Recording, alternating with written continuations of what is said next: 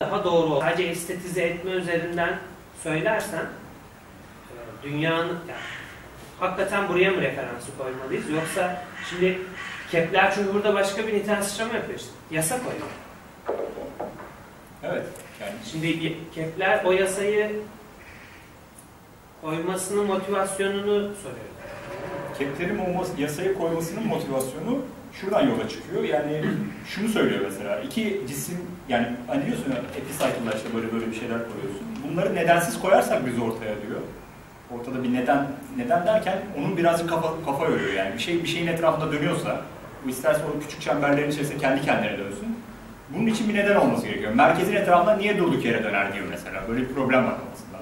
Ya da güneşin etrafında niye döner? Ya da dünyanın etrafında niye döner?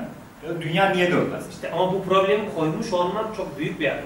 Evet, çok büyük bir adım. Yani hatta güneşin mesela döndüğünü düşünüyor adam. Güneşin döndüğünü ve güneşin dönerek böyle gezegenleri böyle görerek hepsini etkilediğini düşünüyor. Yani etkileme şeyini ortaya koyuyor adam. Yani kendiliğinden Kepler dönme değil. Yani bunu şey Kepler koyuyor. Kepler ortaya koyuyor. Yani diyor ya bu çok devasa bir adım as- aslında. Tam da söylediği gibi. Yani çünkü öteki türlü nedeni çok farklı şeye bağlıyorsun. Yani işte dışarıdan Astroloji yani. astroloji, tanrısal, teolojik bir şeye bağlıyorsun. Ama burada diyor ki güneş sebebiyle dönüyor adamlar. Bunun etkili sebeplerinden bir tanesi de tam o dönemde işte şey ortaya çıkıyor işte mıknatıslar üzerine falan araştırma yapıyor adamlar. Ve dünyanın bir mıknatıs özelliği olduğu ortaya çıkıyor mesela işte dünya. Aynı dönemde. Evet çok çok yakın bir dönemde işte ismi yazdım buraya. Kesin bir nedensellik koyabiliyor musun? Nasıl? Yani kesin bir nedensellik böyle bir Hayır şey buradan etkilendiği düşünülüyor.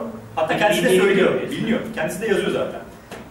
En son göstereceğim grafikte var. Yani o mıknatıs elinde bir tane mıknatısı olan bir şey var. Ee, bir- Kepler. Kepler değil yani bir figür var. Etkilendiği şeyleri yaptığı şeylerden. Ve oraya yola, oradan yola çıkarak dünya tıpkı bir mıknatıs gibi davranıyorsa güneş de belki bunu söylemiyor ama tam budur demiyor yani. Çünkü tam onu bilmiyor yani güneş üzerinde başka şeyler. Ama bu şekilde bir etkileyici, bir nedensel bir şey var. Yani dünya mıknatısı etkiliyor. Güneş de dünyayı ya da başka şeyleri etkileyerek ol- olması gerekiyor diyor. Yani iki cisim birbiri etrafında dönüyorsa, bir şeyi hareket ettiriyorsa neden olması lazım diyor. Yani sen bir şeyi hiç ortasında bir şey olmayan etrafında nasıl döndürebilirsin? Problem adamın bu aslında. Newton'a sadece merkez kaçı söylemek kalmış. Aynen yani o noktaya getiriyor. O çok büyük problemi ortaya atıyor aslında yani. Bir neden koyuyor ortaya. Kepler'in bu neden koyması zaten oradan yolu açabiliyor yani. Oradan işte eylemsizlik, merkezci kuvvet falan. Matematiksel olarak da birçok şey çıkartıyor. Ama en önemli şey bu yani. Adamın şeyi bu. Nasıl diyeyim? Yol- yola çıktığında sorduğu, peşinde olduğu şey bu yani. Bir neden üzerinden gidersek bunu oturtabilirsem sistemime, model, modelime. Kopernik'te mesela bunu görebiliyor yani. Ortaya güneşi koyarsam, her şey onun etrafında dönürsem neden? Güneştir ortada. Onlar da onun etkisiyle döner gibi.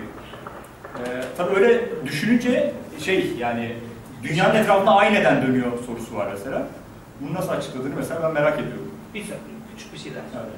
Şimdi daha bir de önceki şeyler, e, önceki kısımlar da e, çemberler ve geometrik yani o etkileşim kavramı yok ya. Evet, evet yok. Etkileşim kavramı Aha. E, bu di- diğer kısımda sadece çizilen çizimleri, geometrik nesnelerin çizimlerinin e, gözlemle tutarlı olması gibi bir derdimiz var. Şimdi Kepler'le Kepler'e geldiğimiz zaman ayrıca matematiksel başka bir nesne kullanmaya başlıyoruz. Aynı yörüngeleri söylemek için. İşte taradığı açının alanı falan. Evet. E, bu geçişe dair bir O geçiş, o geçişten bahsedeceğim zaten. Şimdi şeyleri adım adım çıkartacağız bir ve ikinci yasaları. Kepler nasıl düşünerek çıkarttı. Ama o cevabı doğrudan verebilir miyim emin değilim çünkü adamın kullandığı şey. Yani bunu bir kanun, sen mesela şu an Kepler kanunu diyorsun ama adamın öyle bir şeyi yok, iddiası yok yani. Sadece ben bunu gözlüyorum diyor yani. Gökyüzünde bir yörüngeyi çizdiğinde işte belli zamanda belli tanıdığını görüyor mesela. Ama Mars'ta mesela doğrudan çiziyor, yörüngesini çiziyor Mars. Tak tak tak tak tak tak bir çiziyorsun gerçekten şey yani. Mars üzerinde konuşmamın sebebi de şu, Mars en ilginç şeylerden bir tanesi, yörüngesi. Şimdi yörünge dedik, o kadar yörüngeden bakıyoruz, o kadar Mars'tan bakıyoruz. Şimdi şöyle bir yörünge, elips diyelim buna. Elipsin iki tane ekseni var. Ee, e, Büyük eksen, küçük eksen diye düşünelim. İki tane odağı var. Şurası C, şurası A olsun. Şu C bölü A oranına eksentrisite deniyor. E. E parametresi. Yani sizin eksantrisite şeyden ne kadar uzak olduğunuzla alakalı. Ee, çemberden. Ne kadar kaçmış yani şu iki oda ortadaymış. Ben bu iki oda açmışım gibi düşünebilirsiniz. Mars için bu eksantrisite değeri oldukça büyük. 0,2'ler civarında falan. Dünya için 0,0 onu yazmıştım bir yere. Dünya için 0,01. Mars için 0,09. 9 kadar yani. O Mars'ta bu gözleyebildiği bir şey var. Ortada bir şey var. Mars'ta gözlediği yörünge sıkıntısı yani. O elipse yakın sayan o yörünge şeyinden yola çıkarak o şeyleri çıkartıyor. Yani dünyaya bakarak bunu o kadar kolay söyleyemiyorsun. Mesela birazdan modeli kuracağız. Dünya diyeceğiz ki güneşin etrafında çembersel olarak dönsün diyeceğiz. Bu bizim için çok büyük bir sıkıntı olmayacak. Ama onu dahi düşünsen Mars bildiğin elips çıkıyor yani. Şöyle bir şey ekleyebilir miyim? Evet. Ee, Şimdi bu Galilei ile Kepler şey, çağdaşlar aynı. Evet. Galilei çalışmalarımız sırasında Arşimet'in şeyinden yararlanıyor. Arşimet öğrencilerine bir bilimsel soru karşısında aynı anda bütün soruları sorar şey var ama sen önce nasıl tanımına bak, daha sonra nedenleri üzerine. Aslında Kepler ve Galilei de hareketin nasıl olduğunu tanımlayabildiler. Yani Evet. şeyde, nedenleri biraz da 100 yıl sonra da şey açıklıyor. Ama dediğiniz gibi neden şeyinde sormuş ama cevabını bulamamış. Kesinlikle. Cevabını bulamamış ama o soruyu sormuş Sormuş. olması, o yolu açmış olması E, tabii önemli. nasıl olduğunu tanımlanması zaten o nedeni, nedene gitmiş zaten. Kesinlikle. Şey, Evet. Peki şimdi e, asıl problemine gelelim Kepler'in. Kepler'in asıl problemi yani Tycho'nun ona verdiği problem e, Güneşin etrafında dönüyor Mars. Çünkü Tychonik modelde bütün her şey onun etrafında dönüyordu. Sonra onlar toptan dünyanın etrafında. Mars Güneşin etrafında dönüyor. Ve e, ondan istediği, Kepler'den istediği şey ona verdiği ödev Güneşin etrafında şurası güneş olsun. Şu Mars'ın yörüngesi olsun artık. Yuvarlak olsun bu. Şu ekseni belirlemesini istiyor. Yani tam merkezden ne kadar uzakta güneş. Şurayı bulmak istiyor. Yani bu yörüngesi, yörüngesini belirleyip şuradaki şu parametreyi ve şu doğruyu bulmak istiyor gözlemlerden. Mars verileri var elimde benim şu noktalar. Ve eee buradan yola çıkarak benim o çembersel şeyimin içerisinde, modelimin içerisinde şurası ne kadar mesafede? Bu gibi bir problem üzerinde çalışmasını istiyor. Eee Tycho'dan önce, Tycho'nun verilerinin güzel tarafı, ondan önce işte eee, bir açı dakikasından çok daha büyük şeyler var, eee, hatalar var. Artık bunlar nedeniyle şu yörüngeyi çıkartamıyorsunuz. Yani elips yörüngeyi istediğiniz kadar elinizde veri olsun. Eğer düzgün alınmış veriler yoksa, hatası çok düşük veriler yoksa, çizseniz bile, ki ya adamın elinde bu veriler var, çizsen bile şu kadar 0,09 eksantrisitesi olan Kepler'in yörü şeyini çıkartamıyoruz. E, elips yörüngesini çıkartamıyoruz. Yani onu çemberle elips arasında algılayamıyorsun yani hangisi olduğunu. Çok daha detaylı bir şeye ihtiyacım var. E, ve işte bu şeyin e, Kepler'in Kepler'den istediği gibi şu şu doğruyu bulmasını istiyor. Obstacle line deniyor buna. Ve e, ne kadar eksantrik olduğunu bakmak istiyor. Yani şunun, şunun, şuna olan uzaklığını bulmak yörüngenin. Ya da şurayı hesaplamak istiyor yani. Problem bu. Ondan istediği problem bu. E, Kepler'in yaptığı farklı bir şey. Bu e, simetri ve harmoni ve mantık şeylerinden, bu güzel e, estetik şeylerden yola çıkmayıp biraz daha şey yapmak yani verilerden yola çıkıp onlar üzerine konuşmak ama şeyden de e, uzaklaşmamak aynı zamanda. Yani çıkan sonuç gerçekten gene şey olmasını bekliyor yani gene bu temel prensiplere e, uymasını az çok bekliyor. Yani bunlardan tamamen uzaklaşmış değil. Sadece çıkmazsa da sorguluyor kendisi. Neden böyle diye. Ee, bundan sonra geleceğim nokta İlk başta da dünya, e, ilk başta Ma- Mars'a bakarken bir taraftan da dünyanın yörüngesine bakmaya çalışıyor. Ve e, dünyanın da yörüngesindeki hareketinde tıpkı Mars'ın yaptığı gibi yörüngeyi, e, yörünge gibi hareket yaptığını görmüş olması önemli bir adım. Dünya demek ki hareket ediyor ve gezegenler gezegenler gibi bir şey olsa gerek diye bir adım atıyor. Bunlar ama hep arka planda tutuyor. Taiko ile çok fazla paylaşmıyor. Taiko ile Taiko zaten şey yani e, bunların farkında çoğu şeyin. Ama etrafında bu kadar Kepler gibi böyle müthiş bir adam da yok. O yüzden e, etrafında tutabilmek adına elinden geleni yapıyor ona. E, Hatta şeyde yani e, ölüm döşeğinde beni e, benim çalışmalarımı ve benim ruhumu sonra ileride e, acı çekmeme neden olacak şekilde bu şeyleri kullanma diyor. Kendi verilerini. Yani benim sistemimi güzel, daha iyileştirmek için kullan diyor yani yaptığın şeyler. Bunun farkında çünkü Kepler diğer tarafa meyilli yani Kopernik şeyine meyilli olduğunu biliyor. Ölüm döşeğinde bunu söylüyor. Ama tabii Kepler yemiyor. Kepler kendisine göre bir yol e, yol çiziyor. Şimdi e, Kepler'in argümanlarına geçeceğim. Buradan yavaş yavaş ufak bir derivation. Ya da şurada ufak bir ara verip Bir ara verelim. Evet evet. Ben de yoruldum. Bunun özgüvenini bence sakalı bir iyi anlatıyor. Ha? Özgüvenini sakalı bir iyi anlatıyor. Abi bir de şu olay çok iyi ya. Evet. Onu anaokulunda bir yaptırıyorlar. Büyük büyük herhalde sonraya takıyorlar.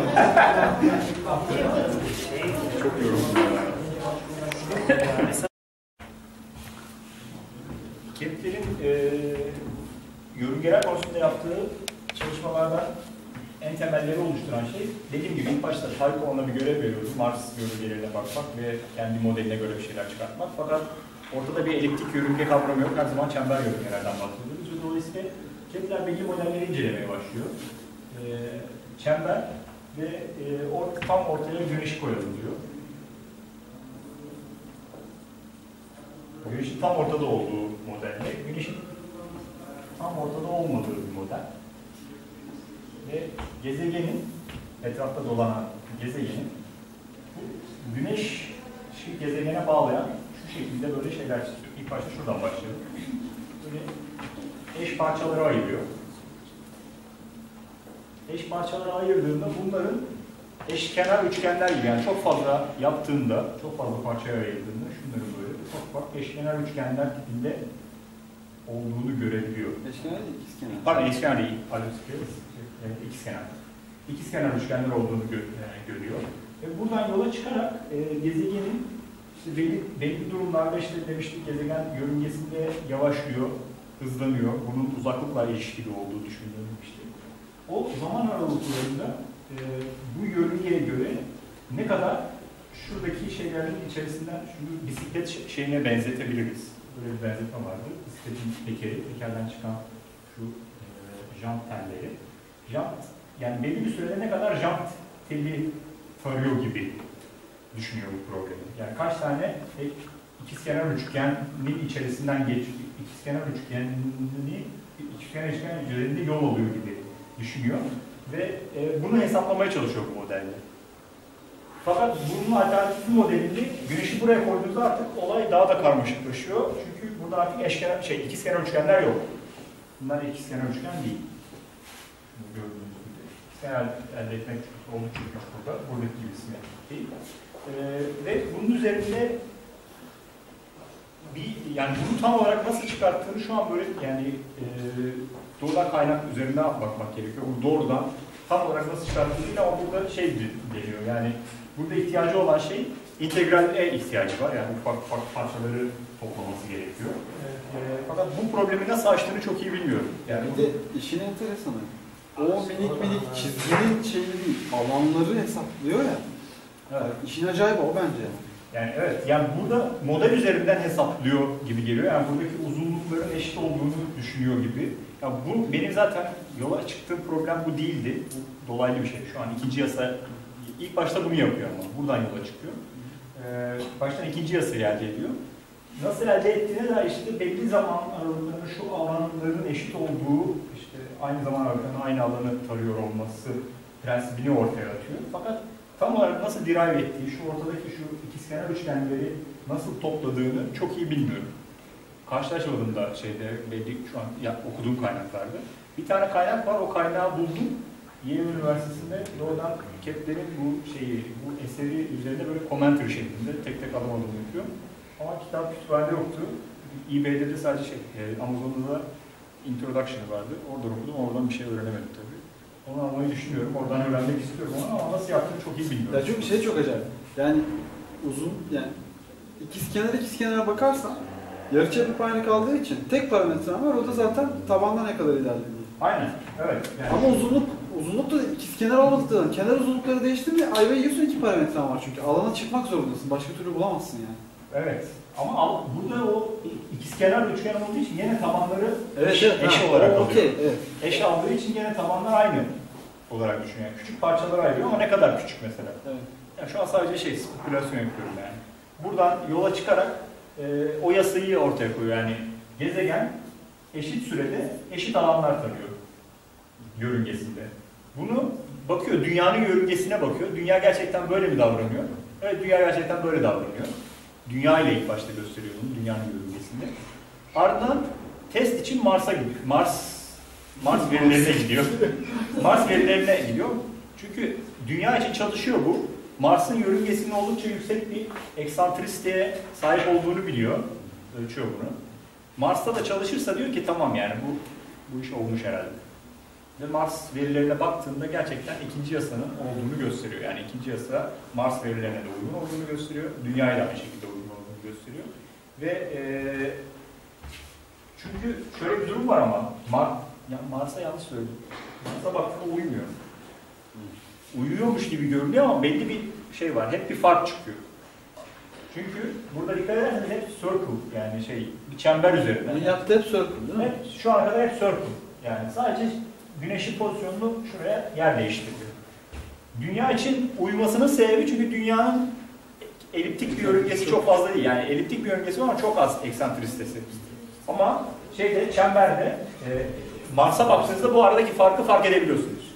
Mars'ta problemle karşılaşıyor. Bu sefer diyor ki ya benim bu çemberler şeyim yanlış, çember değil ya yörüngeler ya da benim alanlar kuramım yanlış. İşte burada diyor ki ikisi beraber yanlış olamaz. O zaman benim alanlar kuramım doğru, çemberler yanlış gibi bir ön sezide bulunuyor. Çemberlerin yanlış olduğunu düşünüyor fakat bunu şimdi çıkartacak. Çember değil, eliptik olduğunu. Yani ikinci yasayı böyle geçeceğim. Benim asıl mesela birinci yasa. Eliptik yörüngeler. Problemimiz şöyle. Peki Alp buna geçmeden bir şey söyleyeyim. Şu an bu kadar konuşmuşken. Evet. Eliptik yörüngeleri yaptıktan sonra tekrar buna dönüp de farklı yarıçaplarla da ispatlıyor mu eliptik yörüngeleri? Başka gezegenler için hesaplıyor mesela. Mars'a bakıyor, Satürn'e bakıyor. Deminki konuşmamızdan şey, ya onda alanların farkında olması lazım ya. Aha. Ve alan ölçümünü esas orada integral gerekiyor işte yani. Çünkü dediğim gibi yani burada şimdi çember gibiyken şeyi alırsın. Ha evet anladım. Onu demeye çalışıyorum. Ama burada da alamıyorsun ki. Burada da düzgün değil ki. Burada da integral zorundasın. Nasıl alacaksın buradaki şey alanı? Burada da düzgün değil yani. İkizkenar değil. Burada da bir şey yapıyor adam yani. Evet, Nasıl doğru, yaptığını çok iyi bilmiyorum. Bir şey yapıyor dediğim işte ben ona ön- öneri sun, sunduğum şeyi ortak bir merkeze göre alırsan bunu, o çemberleri de ona göre alırsan, o bir çember olur işte. Tamam bu çember ama bunları nasıl bu alanları nasıl hesaplayacaksın? Düzgün bir şekilde toplayacaksın. Hesaplayacaksın değil toplayacaksın. Alanlar değişiyor abi. Toplaman lazım. Yani şuradaki ikizkenar üçgenle şuradaki ikizkenar üçgen farklı ikizkenar üçgenler. Bunları toplamanın bir yöntemi olması lazım. Hayır, ortak merkeze göre alınca diyorum, o merkeze düşüyor Bu zaten. merkez değil abi, merkez burada. Tamam işte merkez oluyor diyorum işte. Ortak merkeze göre ikisini dolandırırsan, ortak merkezin etrafında dolanan bir güneş çiz. Ortak merkezin etrafında bir güneş tam bir çember çizecek. Tam bir çember. Evet. Dünya da ortak merkezin etrafında tam bir çember çizecek. Evet. İyi de o yanlış abi zaten. Ben mi anlamıyorum? Orada Sen şey, bayağı çemberlerini soruyorsun. Ya o, o dediğin şey sıkıntıyı hani biraz önce konuştuk ya yani tam ortak Evet. etrafında merkez şey çember mi yoksa elips mi döner? Onu şu an şey yapmadım yani. Şu an tam da düşünemiyorum. Tamam, soruya o, cevap veremeyeceğim. çözüyor işte diyorum. O- Çözüyorsa Tamam. ne hala yani. Şu an onu göremiyorum. Burada devam edelim bu gözlemde. Ee, ikinci şeyi yaptıktan sonra Mars'ın yörüngesini tam olarak çizmek gibi bir hedefi var. Yani şeyin ve tam böyle artık şeye tam da şekilli e, şey, çiviyi çakacak şeklinde bir yaklaşımla. Ee, elinde yüzlerce veri olduğu için Mars'a dair e, bunlardan yola çıkarak Mars'ın e, 687 günde bir tam tur attığını biliyor. Yani 687 günde bir tak aynı yere geliyor. Aynı takım yıldızında aynı, aynı yerde. Dolayısıyla periyodun 687 gün olduğunu biliyoruz. Takımımız derken yani sabitlemek için söylüyorsun değil mi? Nasıl? Sabitlemek için aynı takımımızın oralar gibi. Evet yani adres olarak işte şu kadar yükseklikte şu kadar sol sol açıklıkta falan diye yine tam olarak yerini biliyor. Dolayısıyla 687 bir yılda bir aynı noktaya geldiğini biliyoruz. Bir tam tur atmasının şeyini biliyoruz. Şimdi e, Kepler gene Kopernik modeli üzerinden düşünüyor. Şimdi ben dünyadan Mars'ı ölçebiliyorum. Dünyadan Mars'a bakıyorum. Aynı zamanda Güneş'e bakarak dünyanın nerede olduğunu biliyorum. İkisini bir araya getirerek Mars'ın nerede olduğunu çıkartacağım. Dünyadan ben Mars'a baktım şu yani Mars'ın gökyüzünde şurada bir yerde gördüm. Yani şu ışığı çizdim. Bir tam tur attığında 687 gün sonra Mars gene aynı yerde. Fakat Dünya aynı yerde değil tabii ki. Dünyanın periyodunun altı o kadar katı olmaması değil. Dünya burada. Bu sefer gene Mars'a bakıyorum. Mars'ı şurada görüyorum.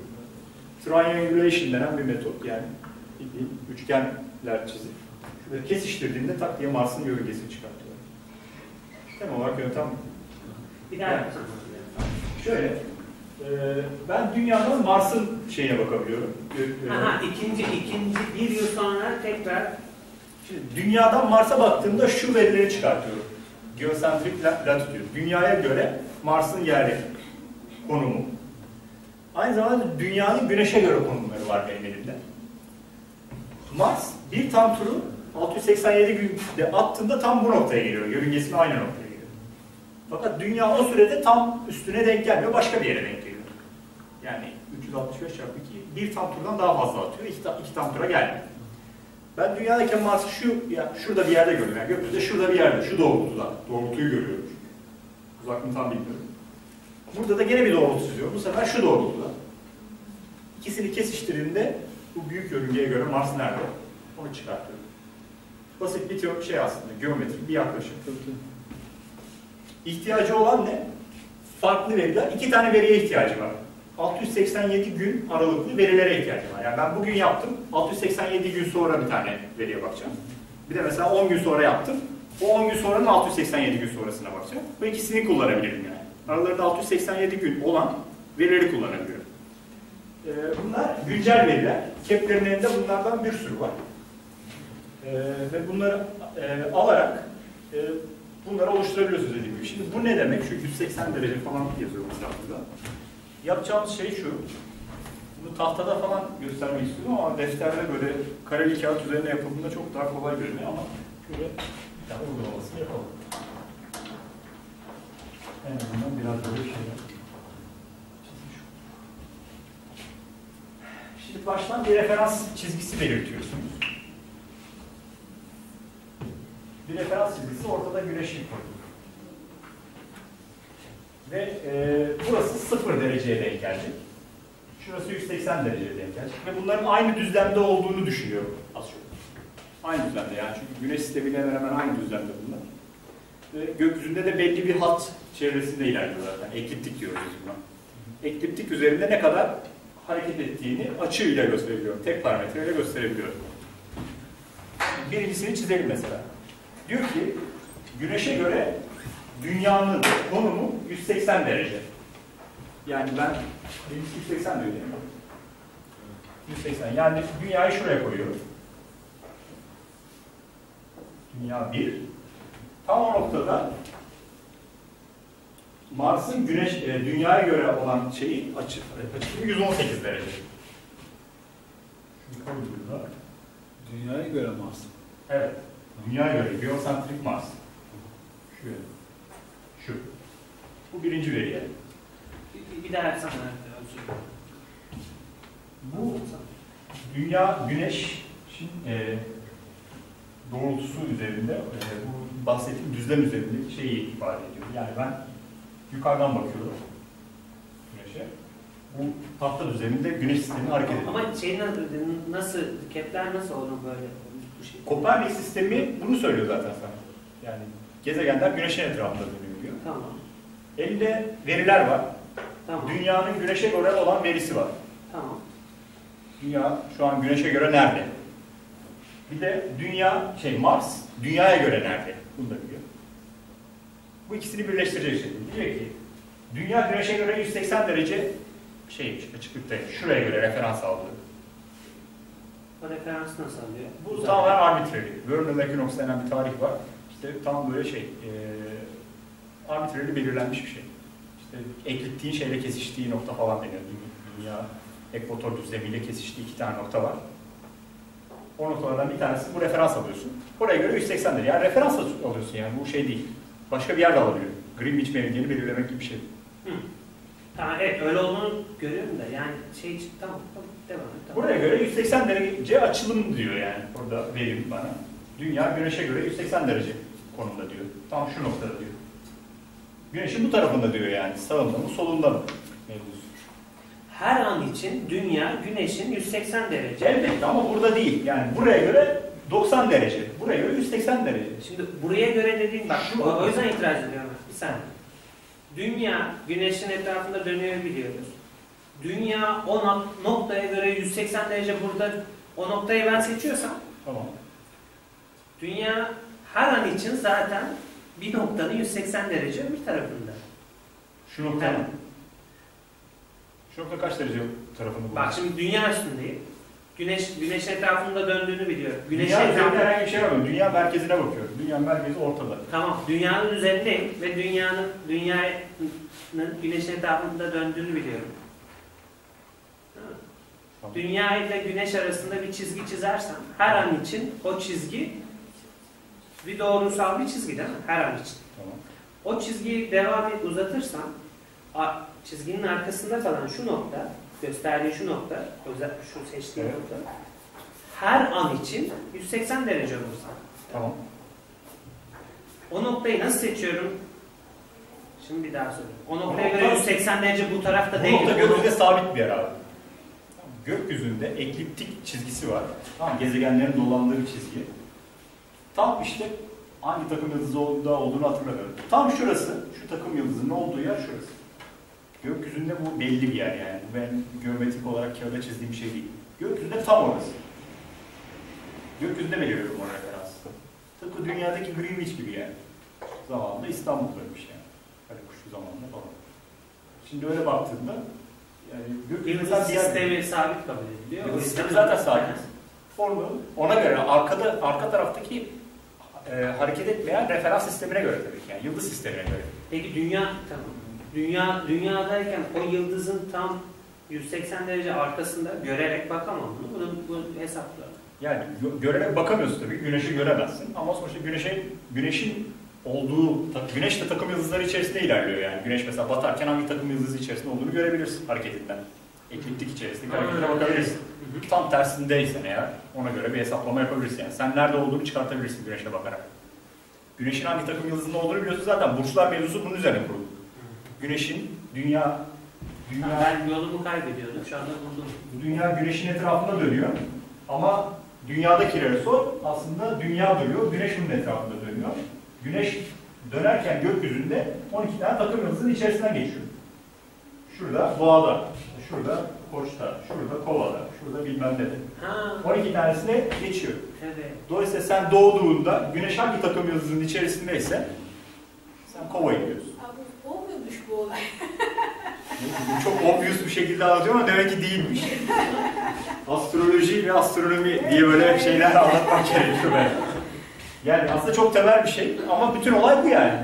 Güneş gökyüzünde hareket ettiği takım. Şu an güneş mesela Şubat, Şubat'a yaklaşıyoruz değil mi? Kova. Ee, Şubat, şu an güneşe baktığımızda güneşin arka planındaki takım yıldızı kova takım yıldızı. Ve gündüzleyin görülmez bu takım yıldızı. Yani gündüzde olduğu için görülmez. Gece gökyüzünde değil. Gece gökyüzünde gördüğümüz takım yıldızlar onun tam tersi taraftaki olanlar. Yani dü- dünyanın güneş etrafındaki yörüngesi gibi düşünürsek, dünyaya ben güneş, dünyadan güneşe bakıyorum, güneş şuradaki takım yıldızlar içinde. Dünya hareket etti, şuraya geldi, güneş artık şuradaki takım yıldızlar içerisinde. Böyle 12 taneyi tarıyor ama 12 tane de değil, günümüzde artık 13. Çünkü ilk başta düşündüğünüz gibi o yıldızlar da hareketsiz sistemde o küre müthiş harika işte şey kusursuz ama o yıldızlar da hareket ediyor.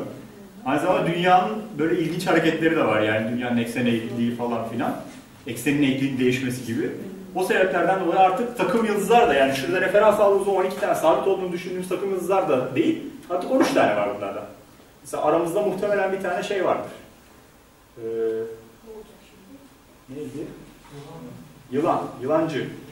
Yılan takım yıldızı olan birisi muhtemelen vardır yani aramızda. 13. takım yıldızı mesela. Ekliptiğin içerisine düşüyor artık.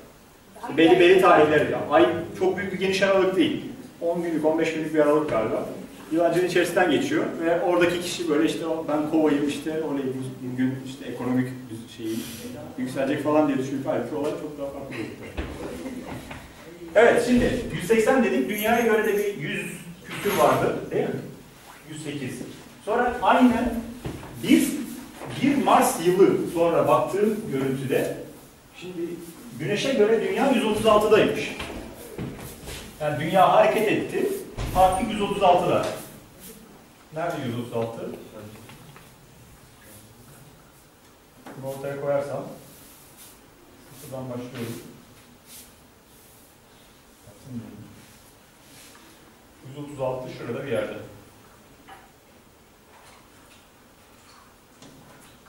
Doğrultuda. Şöyle bir yerde olması lazım.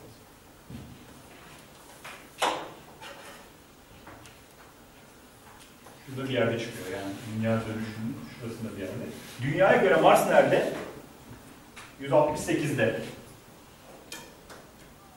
168'de.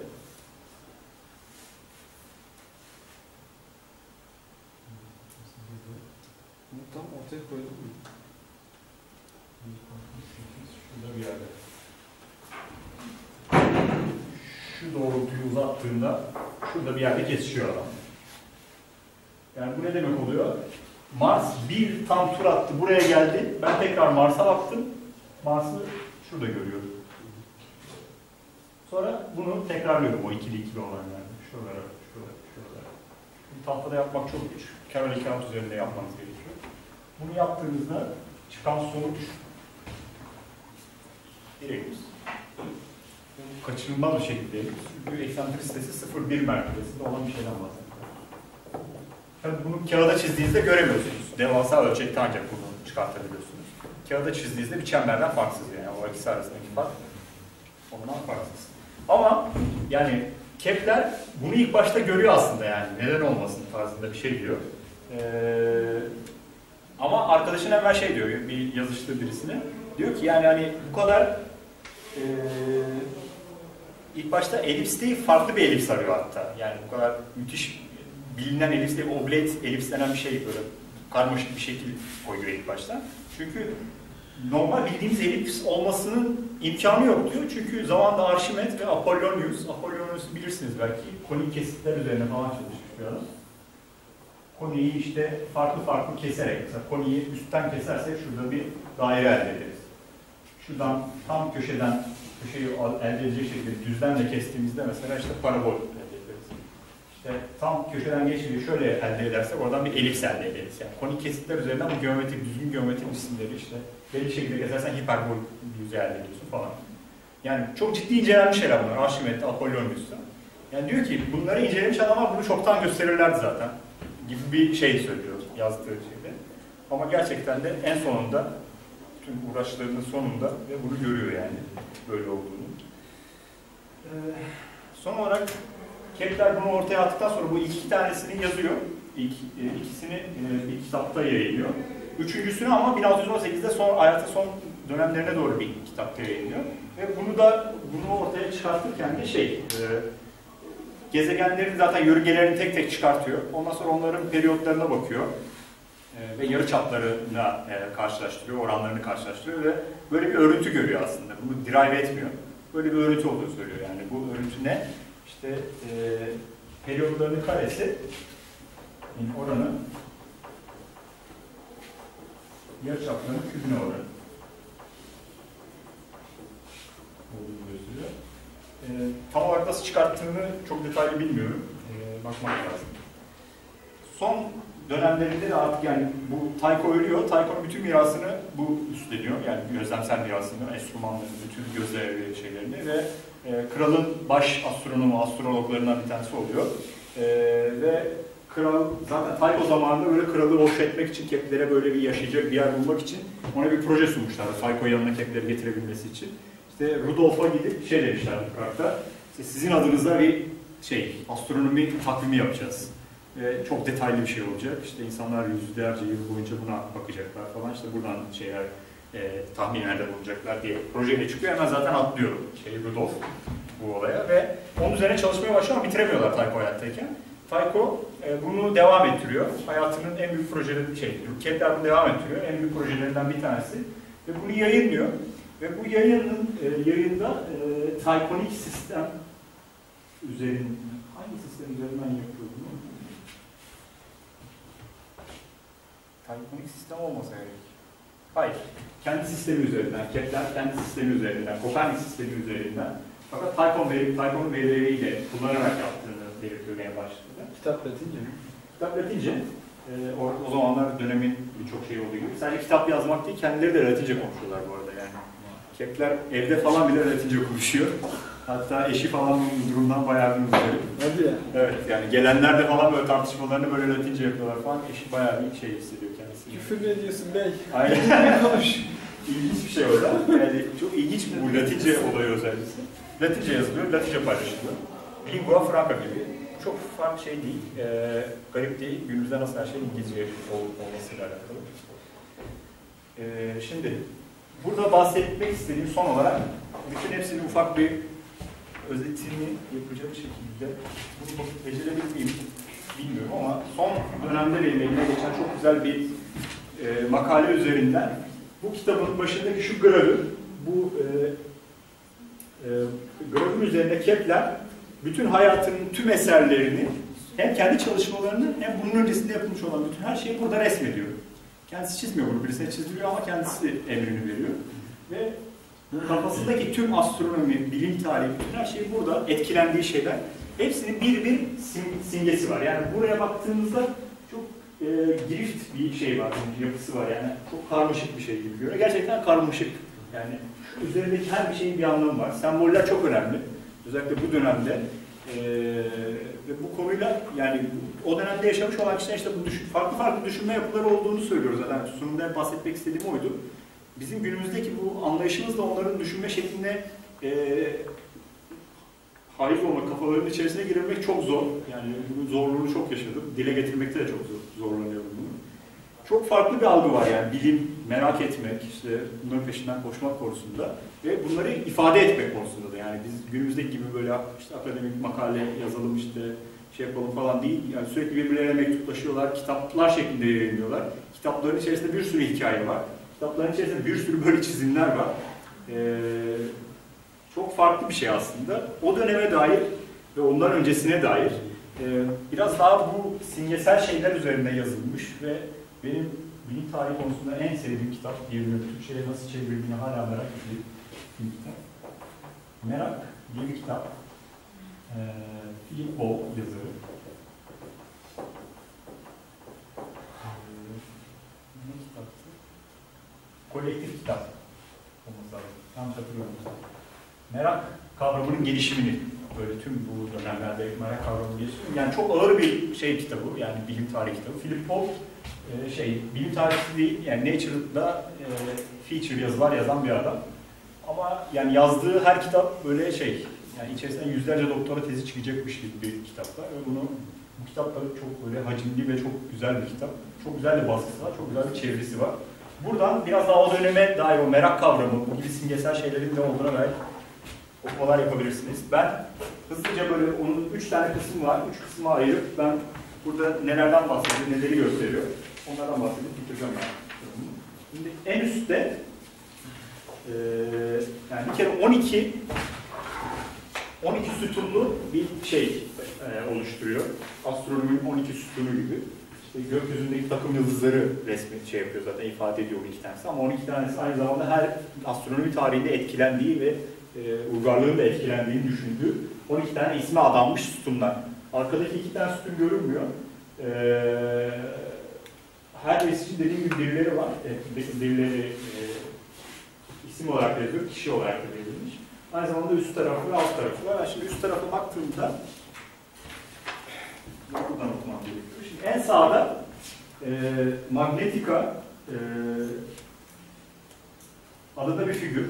Elinde bir kompas olduğunu yani pusula olduğunu söylüyor şuradaki şey. Bunda şey ifade ediyor yani Kepler'in e, gezegenler arasındaki, güneş ve gezegen arasındaki ilişkisinin işte bu manyetik etkileşmeden etkilendiğini düşündüğünü söylemiştik. Şey. Bunu e, bu şekilde resmediyor. Yani o düşüncesinin böyle şey saç ayaklarından bir tanesi.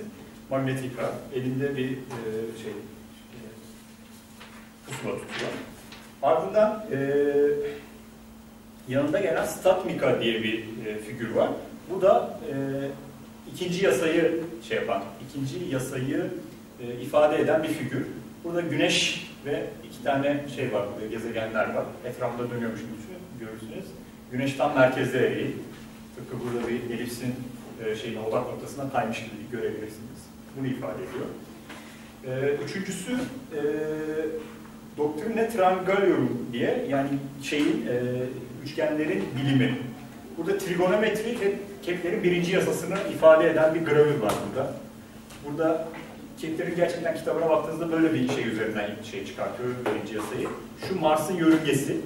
Burada da dünyadan yaptığı şey üçgen triangulation metoduyla çıkarttığı noktalar e, bunu ifade ediyor. Ortada astronominin e, şeyi koruyucu tanrıçası Urania e, şeyle e, atlı şeyle gidiyor. Üstte Habsburg, o zamanların işte Habsburg İmparatorluğu gibi işte Rudolf, Rudolf tüm şürekasının olduğu o imparatorluğun e, simgesi. Ağzından böyle şeyler, paralar aşağıya doğru düşüyor. Birazdan o paraların keplerin masasının üstüne düştüğünü göreceğiz. Yani onun sayesinde oluyor bu şeyler. E, ondan sonra en üstte onu dedik. Şimdi burada bu logaritmik, e, logaritmika e, Kepler son çalışmasında üçü, e, bu üçüncü yasayı çıkartırken özellikle e, evet ve üçüncü yasayı çıkartırken ve Rudolf tablolarını oluştururken çok fazla hesap yapmak zorunda kalıyor. Bu hesapları elle yapıyor tabii ki. Hesap yapmak en büyük problemlerden bir tanesi. Elle yapabilmenin en güzel tarafı da o dönemler logaritma kullanmak. Bunu tam olarak nasıl yaptıklarını bilmiyorum. Ee, ama çok kullanışlı olduğunu biliyorum. Öğrenmeyi de çok istiyorum. Bu sene hatta Napier'in, Napier bu logaritmayı ortaya atan kişi. Kaçıncı e, doğum günüyle alakalı böyle bayağı bir şeyler var sağda solda yazılan şeyler. Onu da öğrenmek istiyorum. Bu logaritma, burada işte 1'e 2 oranı logaritma ile ilişkili olarak bunu oraya çiziyor. Ardından şurada e, Physica Lucis Umbrellum e, ışıkların ve gölgenin fiziği diye bir karakter var. Şurada elinde tuttuğu bir kuyruklu yıldız var. Şurada kuyruğu var. Dikkat ediyorsunuz bir kuyruklu yıldız. E, ve orada o gözlediği e, kuyruklu yıldızı yani 1607'deki gözlediği kuyruk, Halley kuyruklu yıldızını simgeleyen bir şey. Ardından burada optika. Bu da e, Kepler'in astronomi çalışmalarının yanında çok ciddi bir optik çalışması var. Yani ilk mesela ışık, e, ışık, ışık kavramının ışınlardan oluştuğunu ortaya koyan kişi Kepler. Ve görüntünün göz içerisinde mercekten kırılarak retinanın üzerine düştüğünü gösteren kişi gene Kepler. Optik anlamında devasa şeyleri var yani. Burada araya gireyim. Ya, o şeyler yani insan mi diyorum, o görüntü şeyleri, orada, orada, o kaynaklar hep Avrupa'ya gitsin. O ilk görüntünün bulunması, içeride bir şey olması diye. Onu, duydum, onu duydum, Var. duymuştum ama onu bilmiyorum şu an. Muhtemelen gitmiştir. Muhtemelen. Ya zaten hani bu öyle şeyler ki yani bazen ortaya çıkıyor. Mesela aşağıda bakacağız. Mesela öyle bir insan olacak mesela şeyde. e, tam Müslümanlardan değil yani aslında. Müslüman dediğim o Araplardan değil ama. Tüccarlar geliyordu şey. Evet, evet. Taşıyorlar şimdi. Evet. Yani birçok etkileşme var. Birçok etkileşme var ama hani onların şeyini sürmek çok bir başlı başına bir iş yapmak gerekiyor. Çok güzel bir şey olur. Ama dediği şeyler var zaten. Yani. TÜBİTAK'tan yayınlanmış Işığın Öyküsü diye bir kitap var mesela. Tarih ışığın Yani optik şeyini çalışmalar anlatıyor. ilk şeyleri şey, ortada. Neyse yani kendisi de optik çalışmalar yapıyor. Belki o kadar iddialı konuşmam gerekiyor. Evet, evet, evet. Ee, ve burada bak elinde de bir tane teleskop tutuyor gördüğünüz gibi. Ee, Galileo'nun teleskop yaptığını biliyor Kepler. Ve onu geliştirmek için zaten uğraşıyor, ediyor. Kendisi de böyle bir takım şeyler, modeller sürüyor ortaya. Onu gösteriyor. Burada ilginç olan hep kadın figürü kullanmışlar. Tanrıçalar üzerinden, yani bunlara muse diyorlar. Türkçesini araştırmadım, merak ediyorum onu. Tanrıça mı demek, ne demek biliyor musun? Nasıl? Peri mi? Olabilir. Peri üzerinden herhalde. Peri. Yani bunlar böyle şey, ilham perisi gibi ya da evet muhtemelen onun gibi. Şeyden, Oradan şeyden geliyor bana. Herodot'un tarih kitabını yazarken işte 9 ilham perisi bana işte ırmaktan çıkıp bunları anlattı diye. Aynı şey, aynı mantık zaten burada Evet. da yani. Kepler'in yapmaya çalıştığı da o. Şimdi buraya gelirse? Harf ne kadar ha, bitmek üzere. Tabula ne yazıyorum? Tabula Rudolf astronom. Evet, Rudolf astronomi yani şey başlığı bu. Yani Rudolf astronomi te, te, e, tabloları bu. Ee, E, harf hiç bir şey söyledim. evet. Şimdi e, Mars'ın yörüngesi için e, iki tane ışın kullanıp da onun şey konumunu belirtiyor demiştin ya. evet. Onu gördüğümde e, şey aklıma geldi de, işte buna bir bakayım ben dedim. Şimdi tam girdim aynı şekilde. Biz merceklerde görüntü oluşumu için ve görüntünün kendisini anlatmak için aslında iki tane ışının Evet. kesişip ve nerede ha, o, o konumda oluşturuyoruz şey. Kavramsal olarak öyle de ilişkili olduklarını bilmiyorum. Mer merceğin arkasında nerede olduğunu, o mesela Evet. bu taraftaki görüntü nerede oluşuyor? Aha. İki ışın gönderiyorsun ve o iki ışının Evet. kesiştiği noktada Tamam. oluşuyor. Aslında ışık he- he- her tarafı taramasına rağmen oradaki Evet. ikisinin kesiştiği spesifik noktada oluşuyor. Şimdi tam ben bunları düşün. Sen Mars'ın yerini bulurken orada ben tam bunları düşünüyordum. Kepler aynı zamanda görüntüye dair de aynı yasayı söylemiş. Merceklerin ama öyle bir söylemiş bilmiyorum. Şimdi Nasıl şu formüle ettiğini bilmiyorum. Yani biz şu an günümüzde öyle kullanıyoruz. İki tane ışık kesişiyor diyoruz ama öyle bir formüle etti bilmiyoruz. Yani sen şu an şey yani weak filozofiden, weak history of science denen şey yapıyorsun. Yani sen günümüzde düşündüğün şeyi oraya uygulamaya çalışıyorsun. Ama böyle düşünüp düşünmediğini bilmiyorum mesela. Biz şu an pratik olduğu için öyle yapıyor olabiliriz. İki tane şeyi kestirip yapıyor olabiliriz. Bilmiyorum ama yani. Ama mercekler üzerine çok ciddi çalışmaları var. Hatta kendisinin gözleri de çok iyi değil. Bunun üzerine böyle hatta bu şey yaptığı çalışmalar kendisine de böyle bayağı yarıyor. Anlıyor yani. Gözlük, küçük bir gözlük kullanıyor. Şimdi Onun nasıl çalıştığını e, falan anlıyor. şu anlamda söyleyeceğim. Bu Mars'ın nerede olduğunu dünyanın göre, göre, bu kadar göreli bir sistemde Mars'ın nerede olduğunu Hı hı. iki bu iki şeyi kesiştirerek buluyor. Evet, doğru. Işıkta da ben. Işıkta da aynı şey var. Yani gü- öyle evet. Işıkta da onu yapabilirsin ama şeyle ilişkili olup olmadığına emin değilim. Kepler'in böyle düşünmesi ya da o ikisinin düşünme şekillerinin aynı şeye bağlamda olması falan. Bakmak lazım. Şimdi burada e, şu ortadaki karakterden başlayalım. Bu e, Kaldian dediği Kaledonyalı ya da işte Friklerden böyle eski Anadolu uygarlıkları, eski Orta, e, Orta Doğu uygarlıklarıyla ilişki var. Babillere kadar uzanan eski bir gözlemciyi e, göz önüne alıyor ve burada triangulation, paradoksu ölçmeye çalışan bir adam var. Burada muhtemelen başarısız oluyor. E, şimdi gözlerinden gerçekten şey. Doğu gökyüzünde bir gözlem yapıyor. Ardından e, şurada Hiparkos var. Hiparkos e, gene Yunanlar zaman e, Yunanlar zamanında işte şey e, yıldız en büyük yıldız kataloglarından bir tanesini oluşturan kişi. Çok devasa bir çalışma. Çok uzun süre boyunca Ptolemy de dahil olmak üzere birçok kişi için şey oluyor, e, bir veri tabanı oluşturuyor. Bu arada şey Aristarchus bizim memleketli yani şurada İznikli. Aristarchus nerede? Şurada. Aristarchus. Hiparkus değil mi? Ah! Hiparkos. Aristarchus da güneş sistemini söyleyen kişi. Evet. Aristarchus. Aristarko'da evde. Evet. Allah söylüyor. Şey, Peki.